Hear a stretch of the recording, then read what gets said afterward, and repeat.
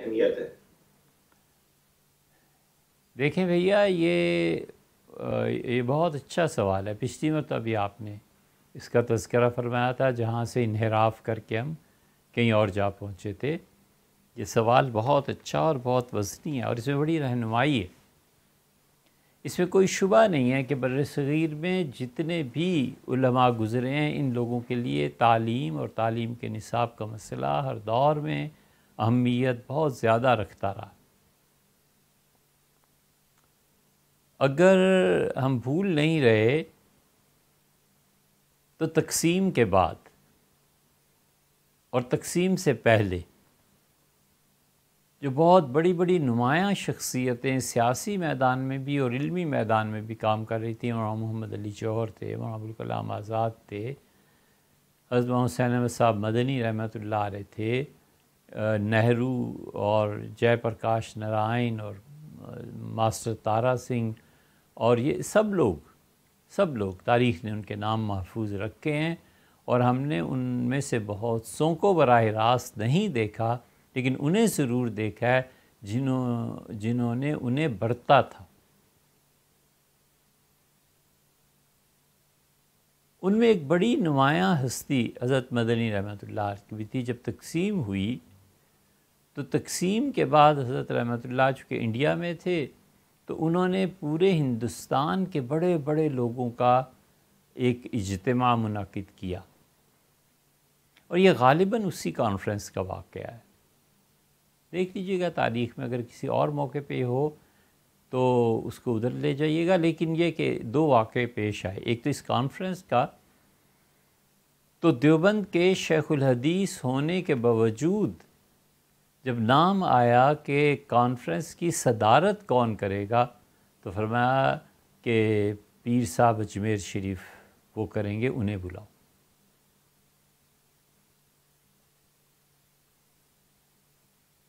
एक बात नहीं फरमाई कि वो पीर प्रस्ती है और बरेलवी हैं और मसलक हमारा अलग है और कुछ नहीं। फरमाया कॉन्फ्रेंस की सदारत वो करेंगे। और उन्हें की? ये वो रवादारी है जो हमारे बुज़ुर्गों में कायम थी। और ये बाहमी इज़्ज़त व एहतराम है कि अगर इल्म के मैदान में आएँगे तो बहस करनी है मुबासा है, किताबें हैं, हवाले हैं, इख्तलाफात हैं, होते रहते हैं। और जहाँ तक आपस की माशरती ज़िंदगी का ताल्लुक है तो उससे अच्छे हैं, उससे बेहतर हैं। और गालिबा वहीं पर यह तय हुआ कि हज़रत रहमत ने फरमाया, आज होना था, हो गया। हमें सबसे बड़ी फ़िक्र यह है कि हमारे बच्चे, मुसलमान बच्चे, उनका निसाब तालीम क्या होना चाहिए? तो उस निसाब तालीम में इस्लामियात का हिस्सा, ये जो आप सवाल में इर्शाद फरमा रहे हैं कमेटी बनाई गई और मौसद मोहम्मद मियाँ साहब रहमत के ज़िम्मे लगाया गया कि आप बच्चों के रसायल मुरतब करें और बच्चों के रसायल उन्होंने मुरतब किए जो अब तक छप रहे हैं। उनमें बहुत से रिसालों में छोटी छोटी कहानियाँ, सीरत के वाक़ात हज़रत मुफ्ती कफ़ायतुल्ला साहब रहमत ने तालीम लिखी कि ये बच्चों को पढ़ाया जाए। मौलाना इस्माइल मेरठी ने उर्दू की पहली किताब, उर्दू की दूसरी किताब, उर्दू की तीसरी किताब ताकि हिंदी के मुकाबले में उर्दू ज़िंदा रहे। मुसलमानों के बच्चे उर्दू को जाने, पढ़ें। और सीरत नबवी और सहाबा कराम रज़ी अल्लाह के वाक़ात से उनकी जहनी तरबियत हो। और मुफ्ती कफ़ायतुल्ला रहमत जो थे, हज़रत रहमत ने फ़िकी मसाइल और ये चीज़ें ताकि बच्चे छोटी छोटी किताबों को पढ़ के, नमाज़ को याद करें, रोज़ा, ये, वो, जो भी हैं, वो देखी जा सकती। ये सारा निसाब तालीम उन्होंने मुरतब किया था। अब भी इसकी ज़रूरत अब भी ये चाहिए कि जिस तरह भी हो सके हम लोग अपना निसाब बनाएँ। और इस निसाब में सब्जेक्ट के तौर पर सीरत और साहब कराम रज़ी अल्लाफ़ा राशिदीन, बदर इसको दर्जा बदर्जा पढ़ाएँ। वसन रसोल्ला सल्ला पे ईमान नबूत और रिसालत की ज़रूरत क्यों होती है? आसान मिसालों से। फिर तदरीजन उसे बढ़ाया जाए कि अम्बिया आलम कौन थे? फिर हजूर अकदस अलैहि के मुतालिक फिर उनकी ख़त्म नबूत के मुतालिक कि हमारा बुनियादी अकीदा वो कोई हरज नहीं है कि ज़िक्र किया जाए कि अब जिन लोगों ने किसी नई नबूत का दावा किया है, हम क्यों ने मुसलमान नहीं मानते? इसकी वजह क्या है? कुरान हमें क्या सिखाता है? हदीस हमें क्या सिखाती है? हजूर अलैहि वसल्लम ने ऐलान फरमाया था कि अल्लाह के आखिरी नबी हैं और ये भी फरमाया था कि मेरे बाद कोई नबी नहीं आएगा। इस तरह अकीदा और तारीख़ इसको पढ़ाया जाना चाहिए। लेकिन कोई जगह ऐसी नहीं है जहाँ पर कहीं ये तालीम तदरीजन दी जा रही हो, बल्कि उसकी बजाय अमूमी तौर पर तारीख़ में हर ज़माने में जैसे किताबें बदलती रही हैं, वैसे ही करते हैं। और जो कुछ पढ़ाते हैं, उसे पढ़कर हैरान होता है आदमी कि किस तरह झूठ पढ़ाया जाता है।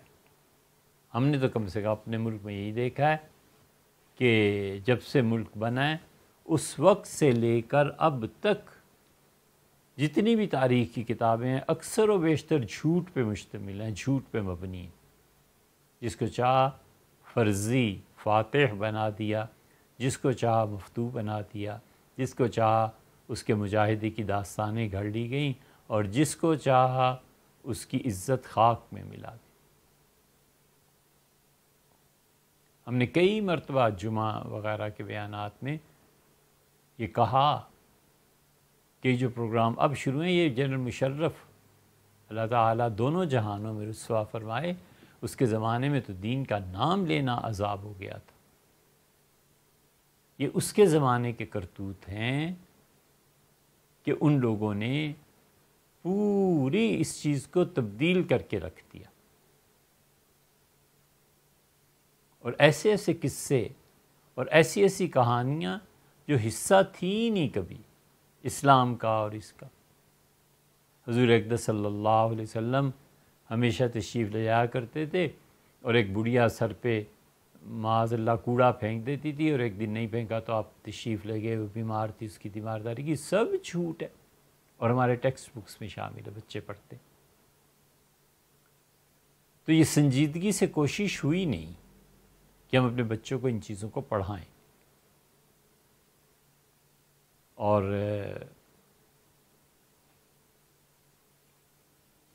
लंबी हो जाएगी बात, छोड़िए इसको। लेकिन ज़रूरत है, होना चाहिए। निसाब तालीम मुरतब करना चाहिए। जो कुछ और बच्चों का जहन बनाना चाहिए। ये जो बुनियादी तौर पर इल्म दोस्ती का जहन नहीं बनाया जाता, किताब दोस्ती का जहन नहीं बनाया जाता, तरबियत में बच्चों की मोहब्बत और प्यार के साथ ये नहीं समझाया जाता कि बेटे इतना पढ़ना है।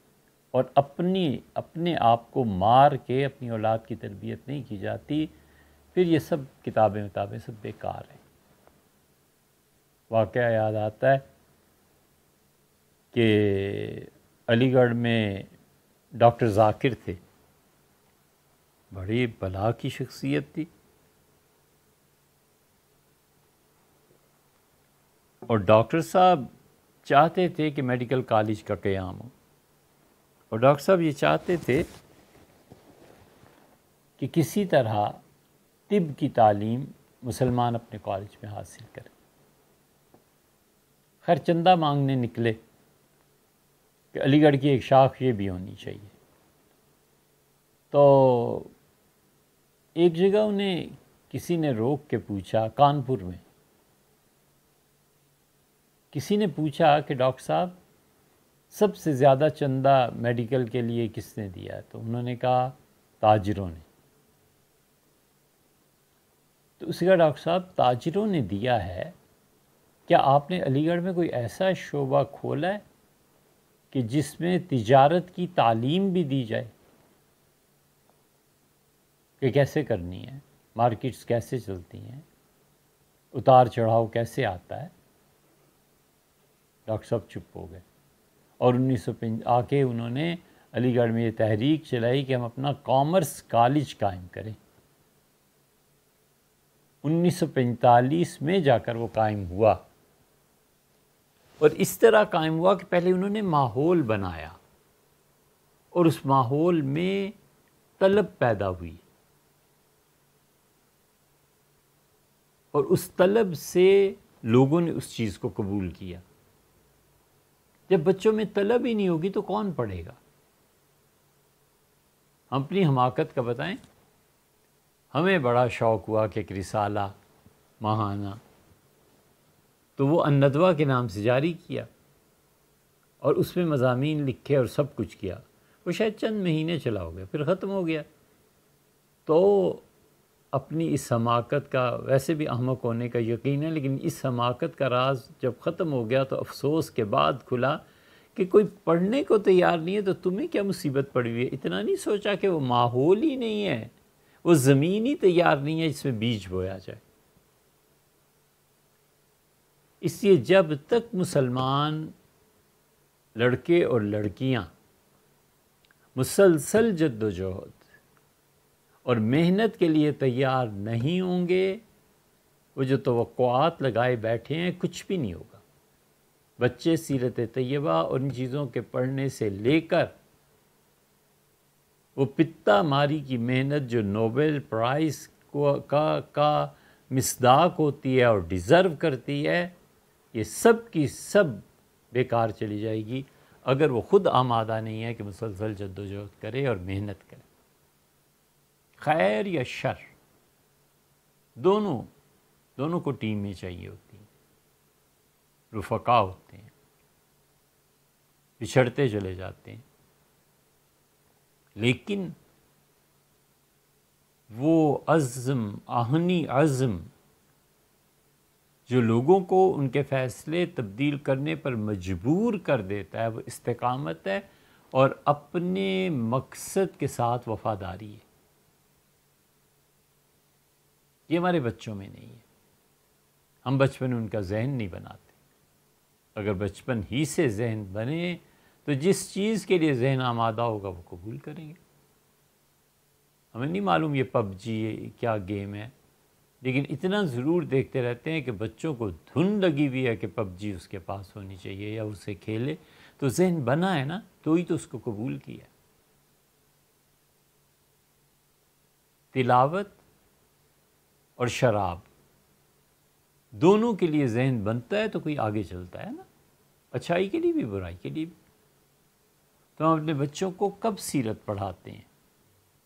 उनको सहाबा कराम रज़ी अल्लाह के वाक़ात कब सुनाते हैं?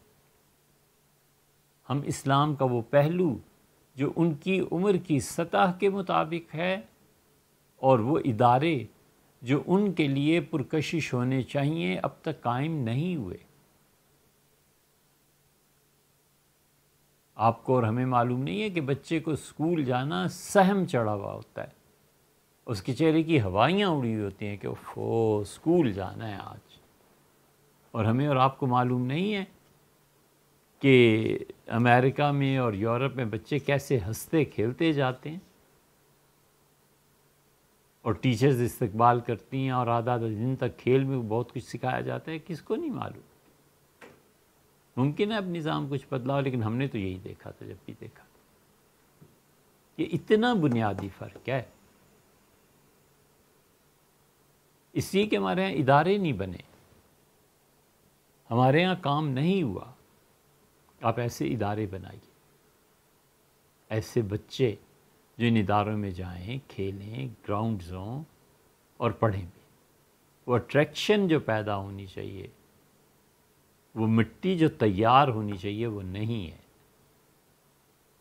इन इदारों के लिए बड़ी कुर्बानियाँ देनी पड़ती हैं, पैसा खर्च करना पड़ता है। अपने जिगर से को खून, जिगर के खून से मेहनत करनी पड़ती है। वो बहुत बड़े लोग जो ख्वाब देखते हैं, उनकी नस्लें उसमें अपने खून से रंग भरती हैं। जब तक ये चीज़ें ना हों, तब तक बातें हैं। अच्छी बातें आप सुना कीजिए, हम कहे, कहते रहें। लेकिन अगर अज़म है तो कुर्बानी देनी चाहिए। पैसा और वक्त दोनों को लगाना चाहिए कि हम अपनी आइंदा नस्लों को उठाएँ। ये काम करने का।